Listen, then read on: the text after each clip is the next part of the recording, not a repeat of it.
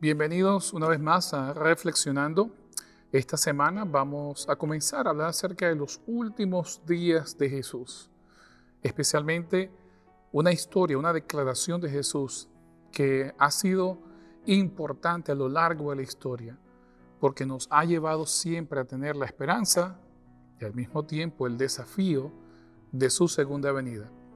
Pero antes de comenzar, no te olvides, si te gusta el contenido, por favor dale eh, like a este video y también suscríbete a nuestro canal para que puedas recibir mayor información. La historia de hoy comienza con una acción insignificante para la mayoría de las personas que estaban allí presentes, pero en contraste muy significativa para Jesús. Y se trata de la ofrenda de una viuda. Vamos a leer el texto nos dice lo siguiente, estando Jesús sentado delante del arca de la ofrenda, miraba cómo el pueblo echaba dinero en el arca, y muchos ricos echaban mucho. Y vino una viuda pobre y echó dos blancas, o sea, un cuadrante. Entonces, llamando a sus discípulos, les dijo, de cierto os digo, que esta viuda pobre echó más que todos los que habían echado en el arca porque todos han echado de lo que les sobra, pero ésta de su pobreza echó todo lo que tenía, todo su sustento. Una de las cosas que nos llama la atención en esta historia es que ya nosotros habíamos visto el episodio en donde Jesús, en forma negativa, eh, se acerca a los que están precisamente colectando impuestos del templo y están vendiendo las ofrendas, los sacrificios, los animales para hacer los sacrificios.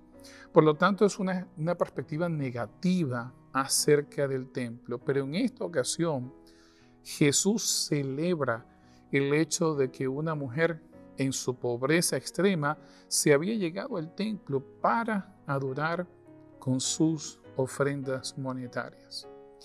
Pero para entender esta historia tenemos que ver qué significado había en el acto de ofrendar y por qué Jesús le dio tanta importancia. En la corte de las mujeres, los récords históricos nos dicen que habían 13 cofres en forma de trompeta. Cuando nosotros hablamos en forma de trompeta, nos referimos a un shofar no una trompeta de metal como las que nosotros vemos modernamente en las orquestas en los grupos de música, sino un cuerno de cabra que se usaba precisamente con, como trompeta, como sonido único. Eh, se usaba por lo menos en la recepción del sábado cuando se acercaba el sábado, desde el templo se tocaba el shofar para que todo el mundo se apercibiera de que el sábado estaba llegando. Y, era común en muchas de las festividades religiosas, de hecho hay una fiesta llamada Fiesta de las Trompetas, así que e, era común estos shofares y en el templo, en la corte de las mujeres, habían 13 cofres de metal en forma de shofar o en forma de trompeta. Cuando Marcos describe este incidente, nos dice que la viuda lanzó sus monedas.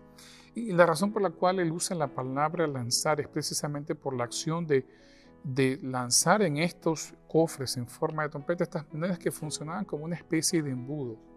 Por lo tanto, mientras la moneda iba descendiendo, iba, iba haciendo el ruido de cuánto la persona había dado. Una persona que ofrendaba muchas monedas o monedas grandes y pesadas, su sonido diferente al de esta viuda que ofreció, como dice en griego, dos leptas. Ahora, una de las cosas que nos ayuda también a entender esta historia es el Mishnah. El Mishnah nos dice que en estos cofres, en forma de shofar, en forma de, trompeta, eh, estaban colocados las diferentes marcas que, o los diferentes letreros que denotaban para qué iba la ofrenda en cada uno de esos cofres.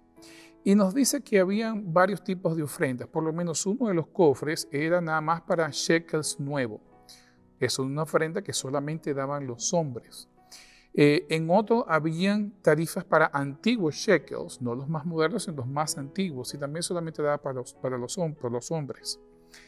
Ofrendas, autocofre dedicado a las ofrendas de aves, y esta era para la compra de tórtolas, a fin de que le pudiesen ofrecerla como sacrificio por el perdón de sus pecados. También había otro cofre para aves jóvenes, que era dedicado específicamente para la compra de palomas. Ustedes ven cómo va degradando la eh, calidad de la ofrenda o de lo que se está comprando para con lo que se deposita en estos, en estos cofres.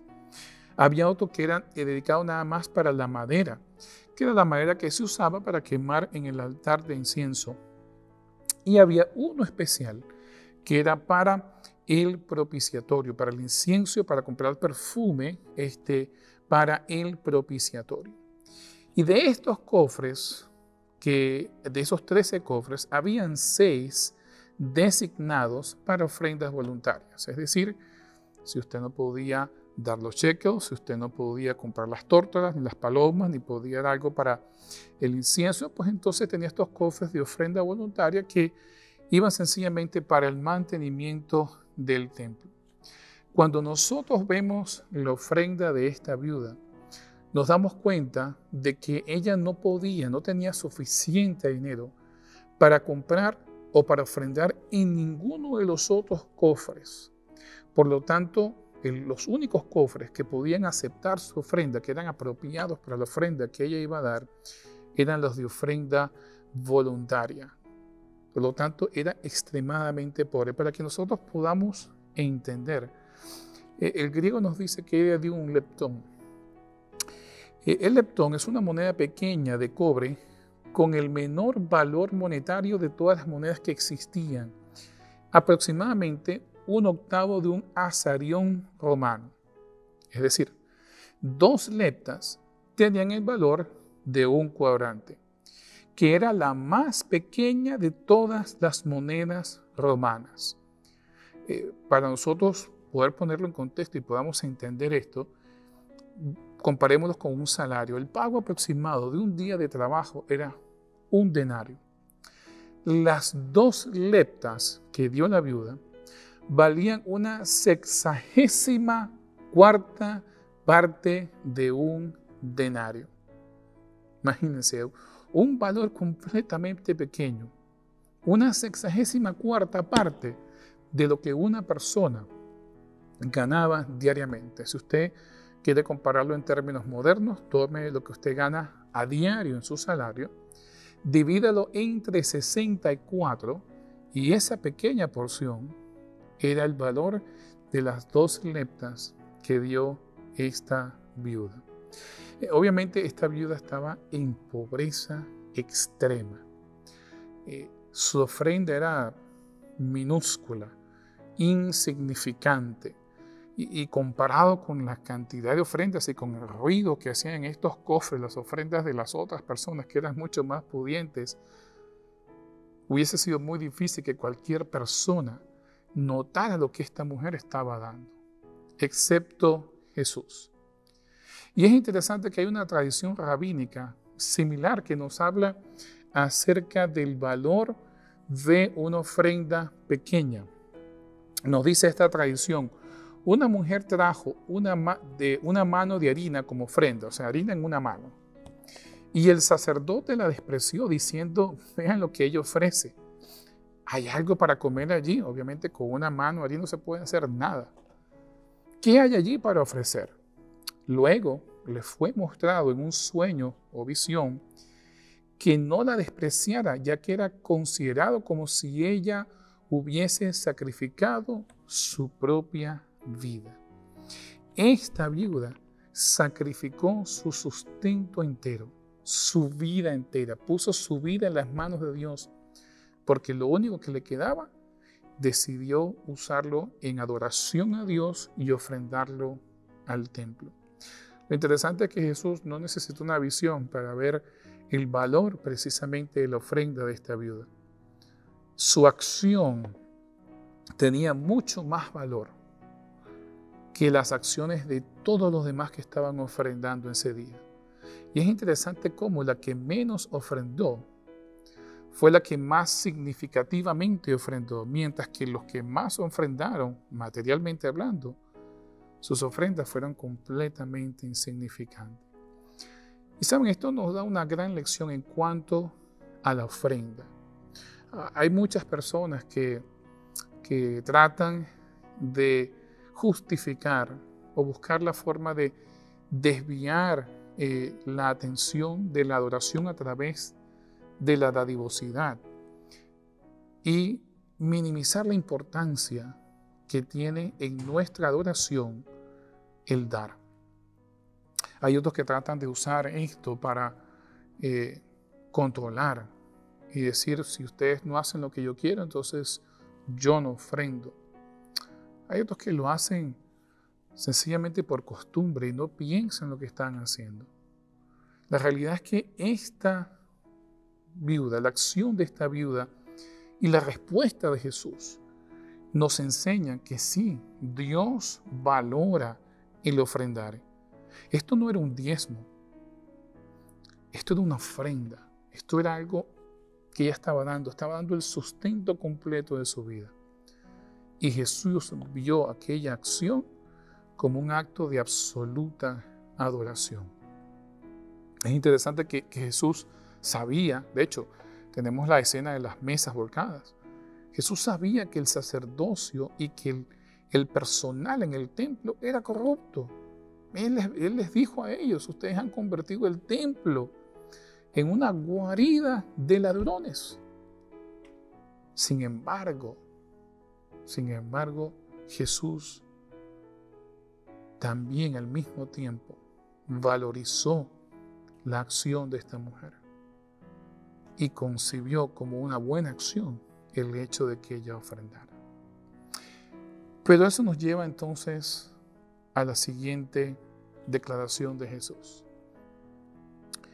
Luego de, eh, estando en el contexto del templo, los discípulos, nos cuentan Marcos, que le dijeron a Jesús, mira estas piedras, mira estos edificios, qué maravillosos. Estaban maravillados y en el contexto principal de Jesús, quien se había proclamado Mesías y quien ellos esperaban establecer el reino de Israel le mostraban el templo porque era el símbolo precisamente de la presencia de Dios en su medio. Para ellos Dios vivía en el templo y un Mesías tenía que maravillarse y exaltar la gloria del templo. Pero Jesús entonces les dice algo que los deja sorprendidos, sin palabras. No quedará piedra sobre piedra. Y los discípulos, en asombro, escuchan la declaración de Jesús y no solamente los discípulos, en medio de, esta, de esta gente que estaba con Jesús, habían personas que habían escuchado justamente eso que Jesús había dicho y que luego se lo harían saber al personal del templo, porque en el juicio de Jesús el personal eh, principal, Anás y Caifás, sacarían esto a reducir y le dirían a Jesús, pero tú no que destruías el templo en tres días. Ellos tomaban eso como una amenaza directa a la institución y a la imagen completa del judaísmo. Por lo tanto, muchos quedaron atónitos al ver, al escuchar lo que Jesús había declarado, que no quedaría piedra sobre piedra. Ahora, para que ustedes tengan una idea de, la magnificencia de este edificio, miren, las murallas del templo podían, eh, podían alcanzar aproximadamente 51 metros de altura. Y el abuelo de Calígula, eh, Marcus Agripa, en cierta ocasión eh, fue a Jerusalén y nos cuenta el, filósofo judío Philo que Marcos Agripa no paraba de hablar del templo, estaba maravillado con el templo de Jerusalén. Noten la descripción que del templo, del templo el historiador judío Josefo. Escuchen. Ahora, el exterior del edificio no tenía nada que pudiera asombrar ni a la mente ni al ojo, porque al estar cubierto por todos lados con enormes planchas de oro, apenas salía el sol, irradiaba un destello tan ardiente que las personas que se esforzaban por mirarlo se veían obligadas a apartar los ojos como de los rayos solares. A los forasteros que se acercaban les parecía desde lejos una montaña cubierta en nieve, pues todo lo que no estaba recubierto de oro era del más puro blanco, mármol. Algunas piedras del edificio medían 25, 21 metros de largo, 2 metros y medio de alto y 3 metros de ancho. ¿Se imagina un edificio tan hermoso, cubierto completamente de oro en la parte más elevada de la ciudad? Hay una serie de salmos que se llaman los salmos de la ascensión, donde la gente en su caminar hacia Jerusalén se alegraba porque pronto llegarían al templo, especialmente en el día de la expiación, lo que se conoce como el Yom Kippur. Era el edificio más majestuoso. Y era majestuoso, fue majestuoso durante la época de Salomón, fue destruido, luego fue construido de nuevo por Zorobabel. Y Herodes lo había embellecido más, dice que había creado una especie de pórtico con columnas, que las columnas eran mucho más anchas que una, que una persona extendiendo sus manos completas. ¿Se imaginan? E, era un edificio sin igual, hermoso y que cautivaba los elogios y la maravilla, eh, la, la, sorpresa de todas las personas que lo visitaban. Por lo tanto, que Jesús declarara que no iba a quedar piedra sobre piedra significaba que era el fin, el fin del mundo. Solamente el fin del mundo podía causar un desastre de, semejante magnitud. Y entonces los discípulos curiosos le dicen, ¿cuándo va a ser esto? ¿Cuándo va a ser esto? Y Jesús comienza a hablar de dos eventos. Uno es la destrucción del templo de Jerusalén y otro es su segunda venida. Y sabe, la destrucción en el año 70 por, por el ejército romano comandado por Tito fue tan severa que los arcos que sostenían las calles que llevaban justamente hacia el templo colapsaron por el incendio. Y el fuego, la temperatura fue tan alta que dejó huella en las paredes traseras de las arcas que estaban este, colocadas o sujetadas hacia estas paredes. Eh, fue un fuego infernal que acabó con el templo. Y Jesús describiendo eso, entonces en Marcos capítulo 13, establece una especie de cronología de eventos. Y eh, yo voy a tratar de decírselos paso por paso para que ustedes eh, vean y ustedes pueden seguirlo en el texto. Lo primero es que él dice, da una advertencia acerca del engaño. Mira que nadie os engañe. Y luego nos dice quiénes son los que van a engañar. Vendrán muchos en mi nombre diciendo yo soy el Cristo y a muchos se engañarán, falsos Cristos y falsos profetas. Y luego nos da el contexto. Nos presenta un mundo de caos. Hay guerras, rumores de guerras, hay pestilencias, hay terremotos, hay desastres naturales por todos lados y nos dice que estos falsos Cristos y estos falsos profetas entonces nos dice, usan este caos que hay para decir, llegó el fin. Y Jesús en dos ocasiones en Marcos 13 dice, no ha llegado el fin, no es el fin.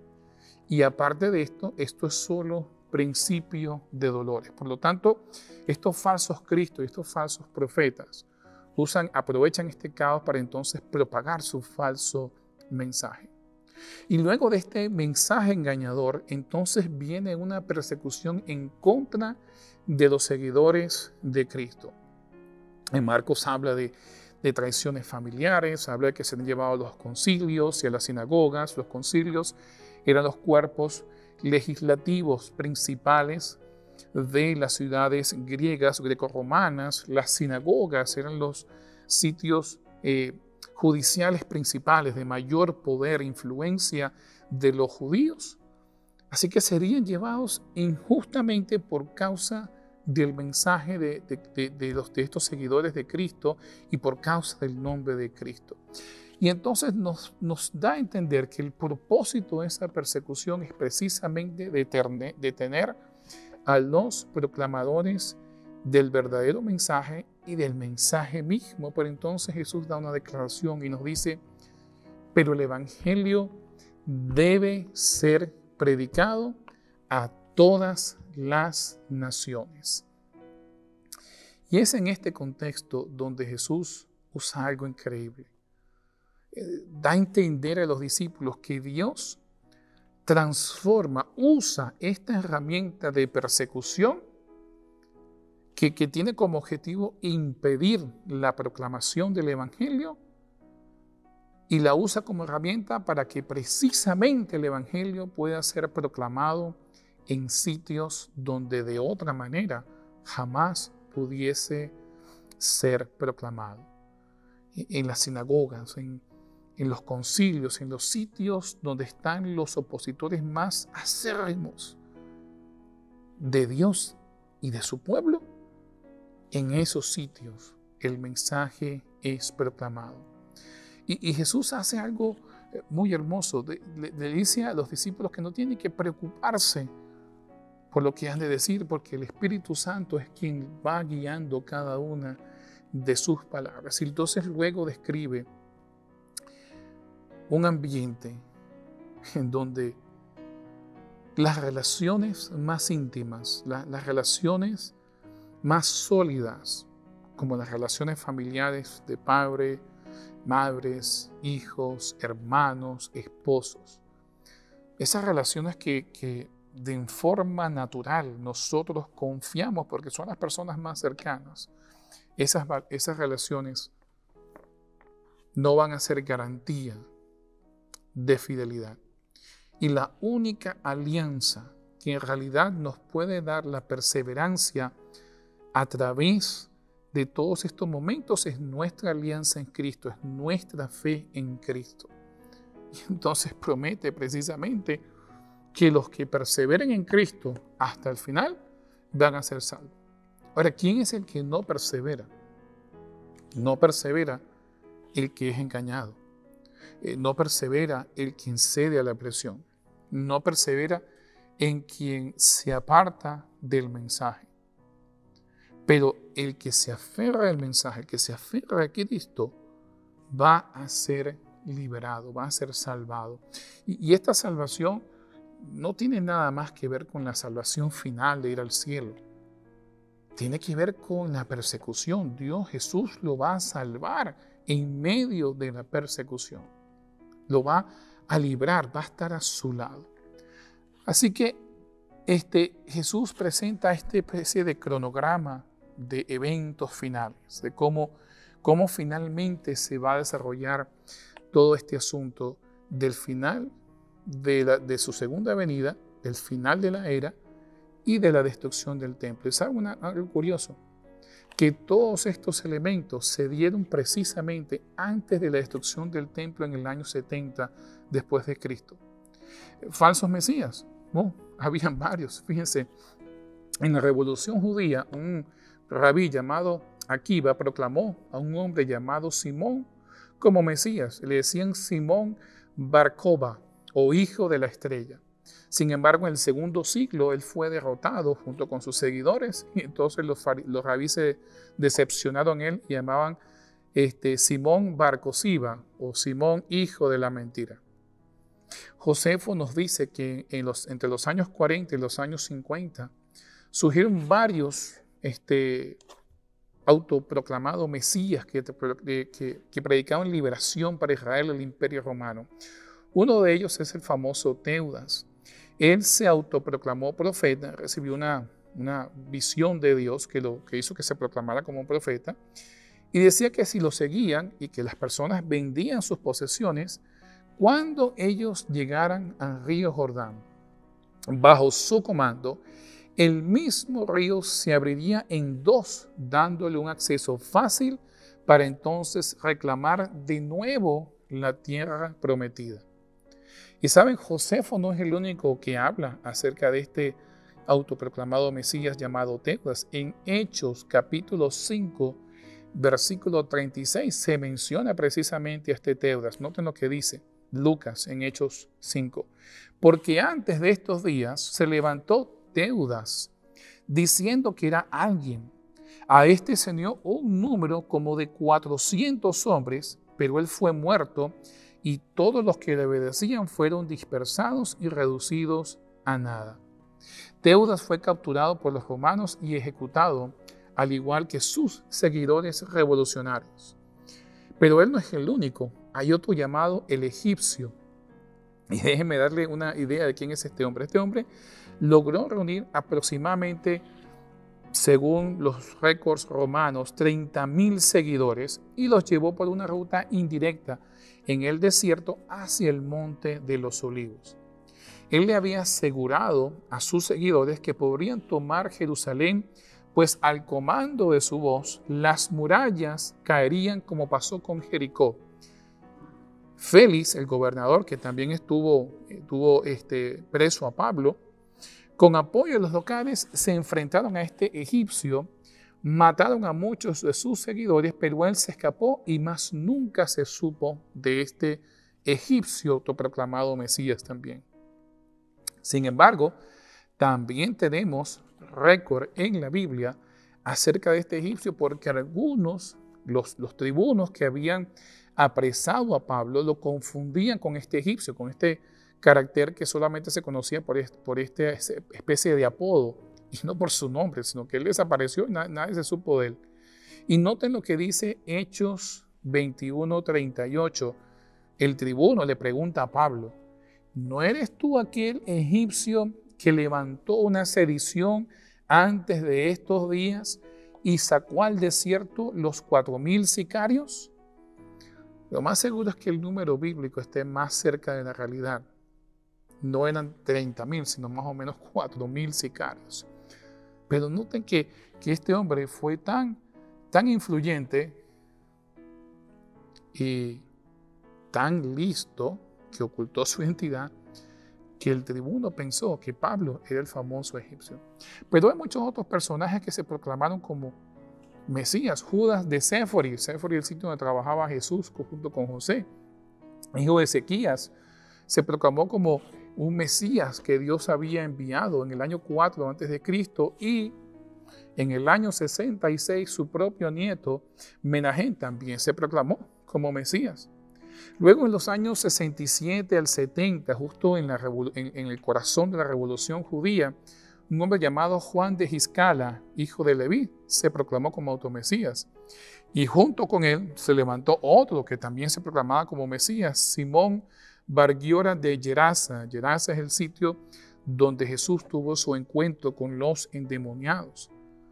Pero también habían guerras y rumores de guerras. Recuerden que cuando Octaviano, quien luego se convertiría en Augusto César, llegó y estableció el imperio romano, él estableció la paz romana. No habría más paz, no habrían guerras internas. Había llegado el momento en que las ciudades no tenían que construir murallas, sino que podían vivir en absoluta paz, porque Él se los, garantizaba. ¿Y saben cómo se llamaba es esa, esa proclamación? ¿Cómo le decían? En griego, evangelión o el evangelio, las buenas nuevas de Augusto. Sin embargo, ya luego del año 64 después de Cristo se comienza a levantar la revolución judía y comienzan a haber una serie de conflictos. Noten, en el año 64 comenzó la revolución judía, habían conflictos internos en Roma, estaba la guerra con Gran Bretaña, luego la guerra de Roma con Armenia, este, luego la guerra con los partanos, que si ustedes ven en el Apocalipsis, cuando habla de unos caballos, que, que, ah, unos jinetes que aparecen con negro, blanco, carmesí, está justamente haciendo alusión a estos partanos que eran famosísimos por su capacidad guerrera eh, en, la, en, la, parte de la caballería, montaban los caballos. Hubo esta la revuelta de Budica en Gran Bretaña. Hubo un año después que murió Nerón, que se llama el año de los cuatro emperadores, porque en un solo año, del 68 al, 60, eh, al 69, hubieron cuatro emperadores. Nerón cometió suicidio y al este cometer suicidio Galba, quien era el gobernador de España, se proclamó como este emperador de Roma. Pero luego fue reemplazado, este, la guardia pretoriana lo asesinó y puso su propio emperador llamado Otto. Otto, luego de tres meses en el poder, fue derrotado por un hombre llamado Vitellius, quien era un gobernador militar, cuyas tropas querían proclamarlo como emperador. El reinado de Vitellius eh, fue lleno de, injusticias, de corrupción, de, eh, de crueldad, y eso hizo que fuese bastante impopular. Así que los, los ejércitos de Judea decidieron declarar a su general llamado Vespasiano como emperador. Y en el otoño del año 69 marcharon triunfantes a Roma, derrotando a Vitellius en la batalla sangrienta de Cremona. Vitellius marchó, nos dice la, los récords, que marchó semidesnudo por la ciudad y seguidamente fue asesinado, dando como proclamado, proclamado oficial emperador a Vespasiano y comenzando una nueva dinastía dentro de los emperadores romanos. Y por supuesto que hubo persecución. No tenemos nosotros en el libro de los Hechos. Nosotros vemos cómo los discípulos desde el mismo inicio fueron perseguidos. Eh, en cárceles fueron llevados a sinagogas, fueron llevados a los concilios, y, fueron eh, eh, todos los, judíos y luego los emperadores romanos como Diocleciano y Nerón trataron de frenar el Evangelio. Pero al final no pudieron, no pudieron. Dios les dio palabras. Tenemos el episodio de Juan y Pedro cuando son apresados y son azotados y, y entonces quieren, quieren ejecutarlos, pero entonces Gamaliel le dice al, al concilio, si esto es de Dios, se va a dar. Si no es de Dios, va a morir solo como han morido muchos otros falsos mesías que se han autoproclamado como mesías. Y estaba haciendo alusión a algunos de los hombres que yo les he mencionado.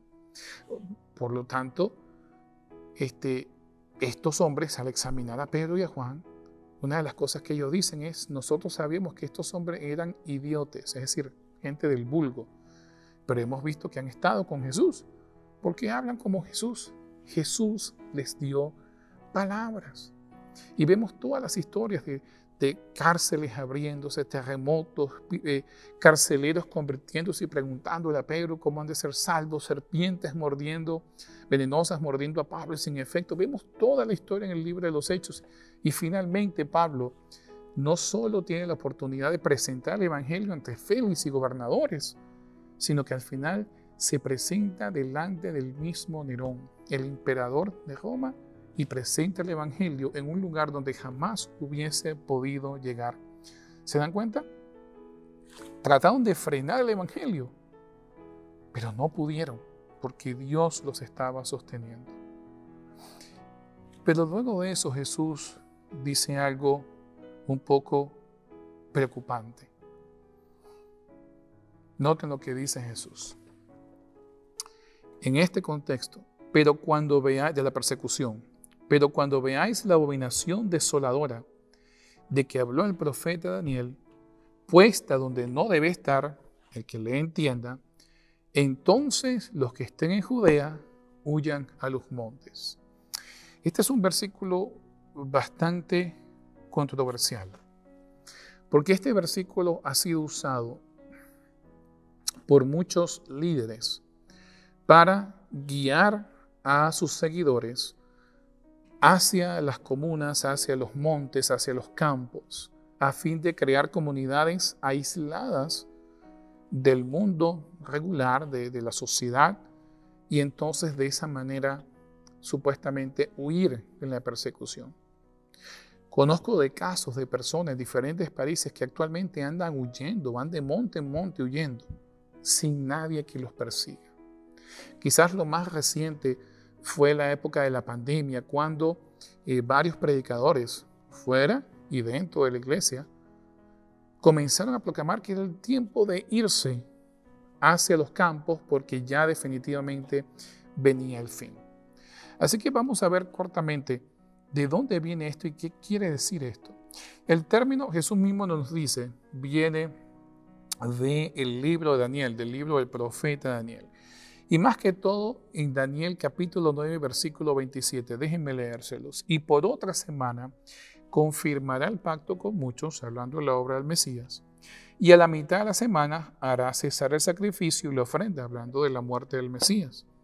Después, con la muchedumbre de las abominaciones, vendrá el desolador, hasta que venga la consumación y lo que está determinado se derrame sobre el desolador justamente de esta expresión, la muchedumbre de las abominaciones vendrá al desolador, es a lo que Cristo está haciendo referencia. Así que cuando nosotros vemos esta, esta, esta doble definición de este poder, es por un lado abominable y por otro lado es desolador.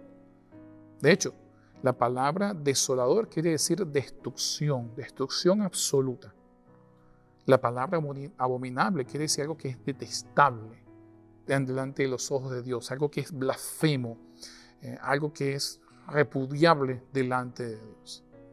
Y saben que nosotros podemos ver en las visiones de Daniel 7, 8 y el 11 la misma descripción de un poder completamente destructor y de un poder completamente abominable o blasfemo. En Daniel 7 lo vemos en la bestia indescriptible y en el cuerno pequeño.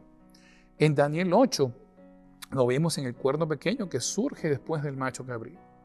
En Daniel 11 lo vemos en el rey del norte. Todos estos poderes tienen las mismas características, son abominables y causan destrucción especialmente hacia el pueblo de Dios. Y todos son frenados por la intervención divina. Es interesante que Jesús coloca esto ya en Marcos y en Mateo y en Lucas como posterior a su muerte y a su resurrección. Jesús está hablando del año 70 después de Cristo, por lo tanto es posterior a eso y, y encaja perfectamente con lo que dice Daniel, porque Daniel también lo coloca precisamente después de la muerte del Mesías en Daniel capítulo 9. Así que, ¿a qué se refiere esta idea de la abominación desoladora? ¿A qué está haciendo referencia? Una de las cosas que nosotros tenemos que tomar en cuenta es el hecho de que la huida que menciona Jesús tiene que ver con Jerusalén y Judea. Si usted está en el campo, no regrese a su casa. Si usted está en Judea, huye a los montes. Si usted está en Jerusalén, no regrese a Jerusalén, váyase a los montes. Ahora, la razón por la cual nosotros tenemos que hacer énfasis, o Jesús hace énfasis en esto, es porque esta no es una persecución global, es una persecución local. Y por eso puede huir. Pero ¿qué sentido si, si la persecución fuera global? ¿A dónde vamos? ¿A dónde se va a huir? Si es en todos lados. Jesús no está hablando de una persecución global. De hecho, lo que Jesús este, dijo, varios cristianos lo escucharon justo en el momento en que Jerusalén fue destruida y siguiendo su consejo huyeron precisamente a Perea o lo que hoy se conoce en, Jordania como la ciudad de Pela. Es cerámica que, que data la era cristiana y que prueba la ocupación de estos cristianos, el peregrinaje de estos cristianos huyendo precisamente de Judea y de Jerusalén. Pero, ¿qué quiere decir esta abominación desoladora? ¿Qué significa? Ya vemos que es un poder.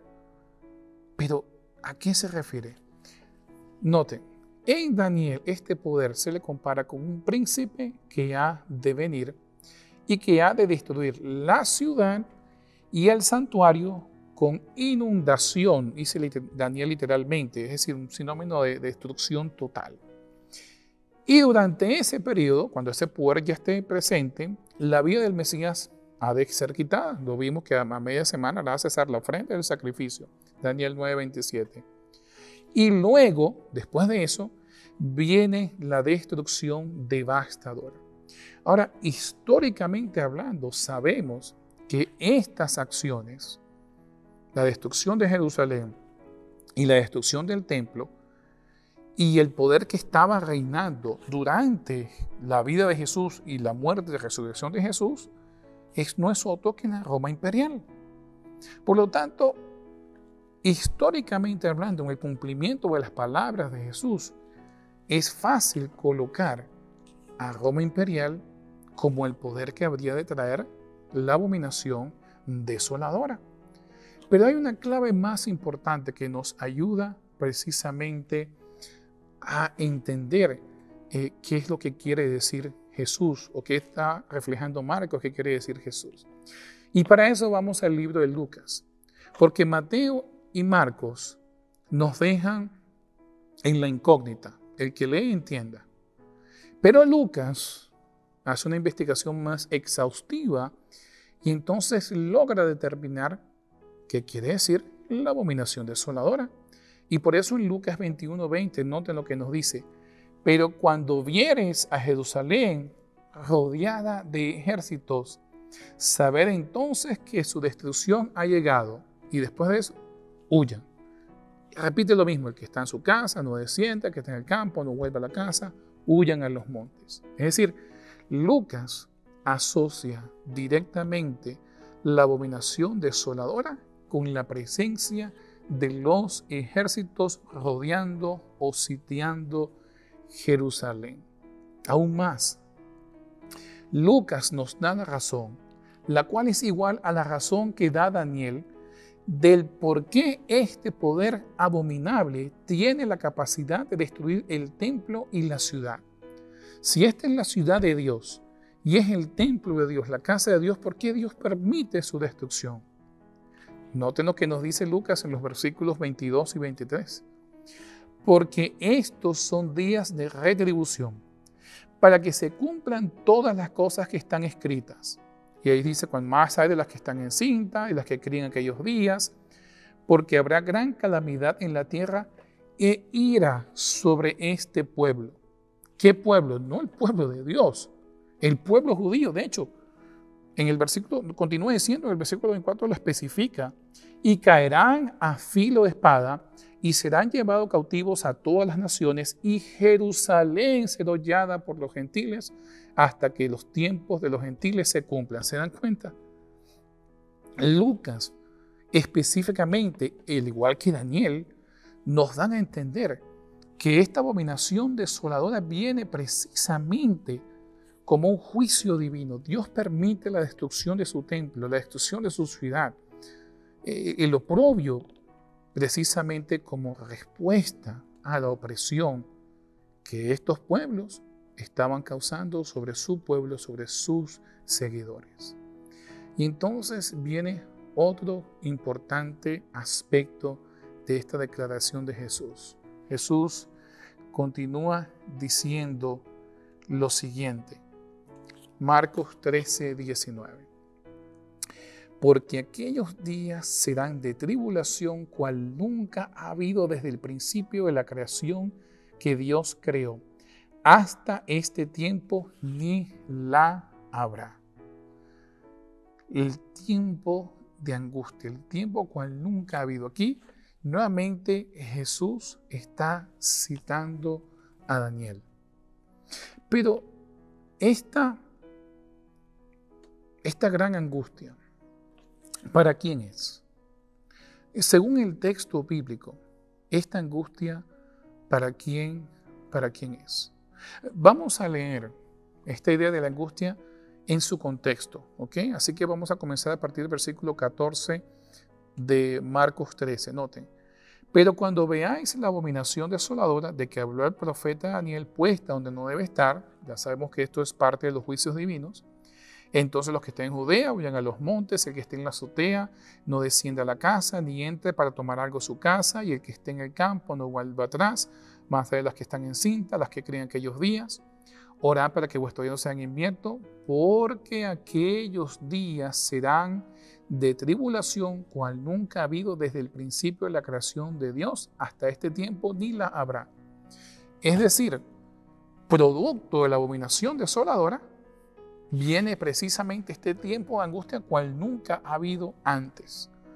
Están directamente relacionadas con el juicio divino y la presencia de esa abominación desoladora trae como consecuencia el tiempo angustioso que jamás ha existido, que ya nosotros vimos, es un tiempo de juicio de parte de Dios para los opresores de su pueblo. Pero esta expresión, como les dije, viene también de Daniel. Y la encontramos en Daniel capítulo 12. Pero para entender bien esta expresión, vamos a leerla nuevamente en su contexto. El contexto es importantísimo. Porque Daniel 12 es una continuación de la visión que comienza en Daniel 10 y que en Daniel 11 resalta la presencia de dos poderes, el rey del sur y el rey del norte. Y de ellos el que sale más victorioso es el rey del norte, que tiene las mismas características que ustedes ven en el cuerno pequeño en Daniel 7, en el Daniel 8 y en el desolador en Daniel 9. Así que en contexto, comenzando en el versículo 45 de Daniel 11, comencemos a leer. Y plantará, el rey del norte, las tiendas de su palacio entre los mares y el monte glorioso y santo. Mas llegará su fin y no tendrá quien le ayude. En aquel tiempo se levantará Miguel, el gran príncipe que está de parte de los hijos de tu pueblo. Y será tiempo de angustia, cual nunca fue desde que hubo gente hasta entonces, pero en aquel tiempo será libertado tu pueblo. Todos los que se hayan escritos en el libro, y muchos de los que duermen en el polvo de la tierra serán despertados, unos para vida eterna y otros para vergüenza y confusión perpetua. Los entendidos resplandecerán como resplandor del firmamento, y los que enseñan la justicia a la multitud como las estrellas en la perpetua eternidad. Así que quiero que noten lo siguiente. El rey del norte se levanta en guerra contra el monte glorioso y santo. Es una referencia directa a Jerusalén. Pero sin que se dé cuenta, llega a su fin y no hay quien lo pueda ayudar es destruido completamente.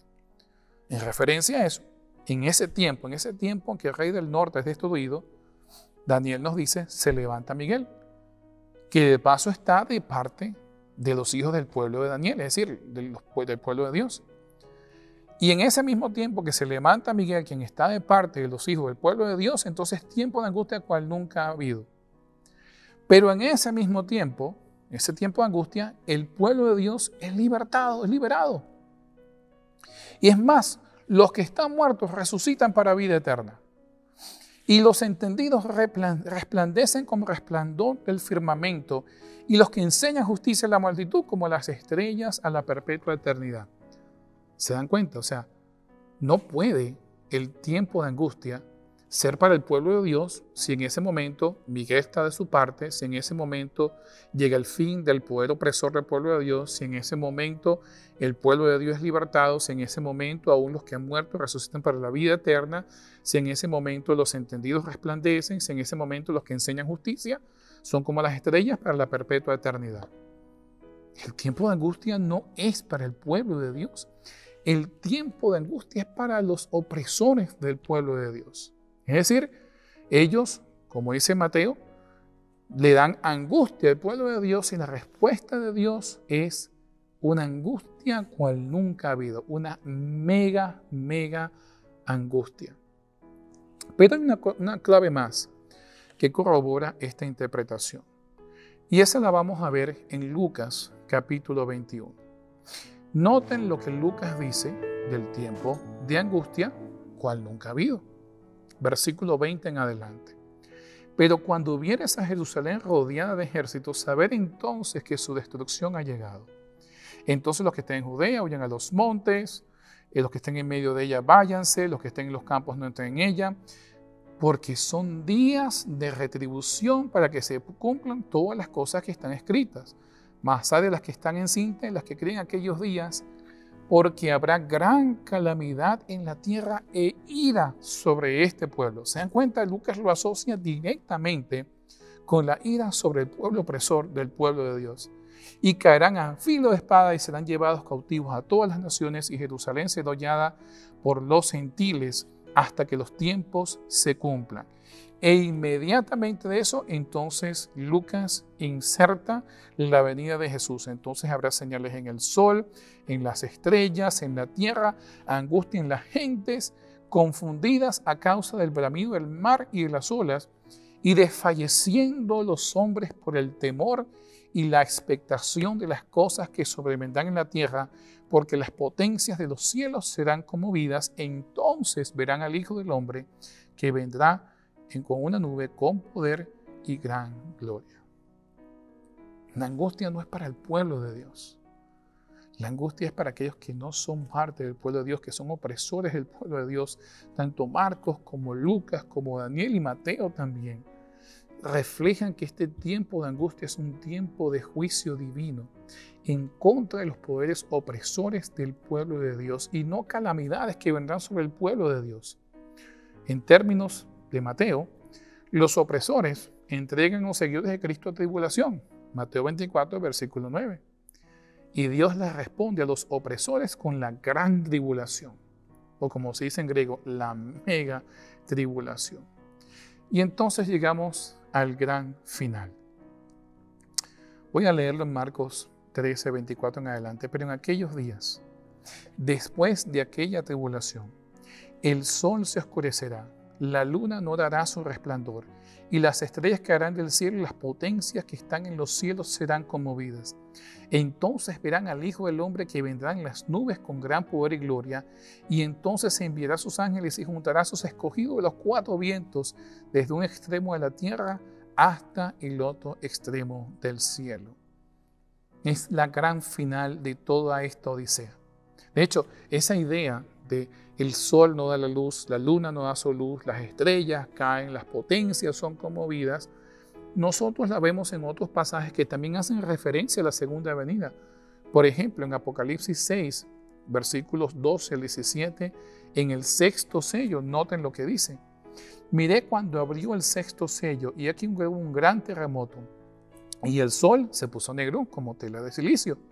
La luna se volvió como sangre las estrellas del cielo cayeron sobre la tierra, como la higuera hace caer a sus higos, pues como sacudida por un fuerte viento. Y el cielo se desvaneció como un pergamino que se enrolla, y todo monte y toda isla se removió de su lugar. Y los reyes de la tierra, los grandes, los ricos, los capitanes, los poderosos y todo siervo y todo libre, se escondieron en las cuevas entre las peñas de los montes y decían a los montes y a las peñas, caed sobre nosotros y escondednos del rostro de aquel que está sentado sobre el trono y de la ira del cordero, porque el gran día de su ira ha llegado y quién podrá estar en pie. Apocalipsis 6, versículos 12 al 17. Lo vemos también, por lo menos en el, cuarto ángel, cuando toca la trompeta, Apocalipsis 8, 12. Y en todas estas ocasiones, estos fenómenos están directamente relacionados con la inmediata venida de Jesús. De hecho, ni en Marcos, ni en Lucas, ni en Mateo se hablan de diferentes señales. Se habla de un mundo en caos que antecede a la venida de Jesús. Pero solamente se habla de una señal. Y verán la señal del Hijo del Hombre en las nubes de los cielos. Es una sola señal.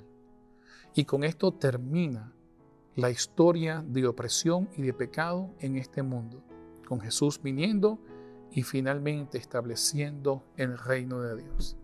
El versículo 28 de Marcos nos dice lo siguiente, de la higuera aprender la parábola.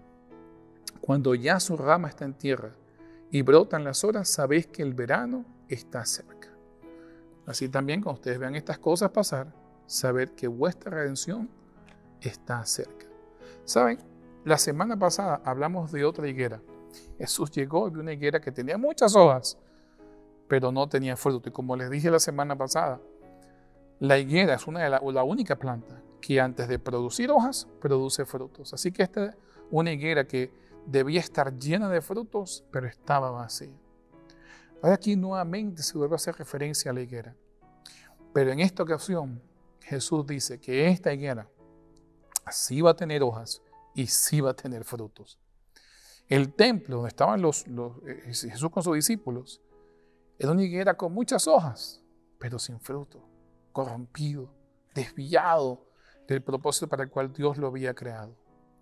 Y por eso Jesús en sustitución les da esta profecía, esta declaración, y les dice, esta higuera, esta higuera sí va a dar frutos. Espero que les haya sido de ayuda este eh, repaso, estas eh, notas o estas eh, explicaciones.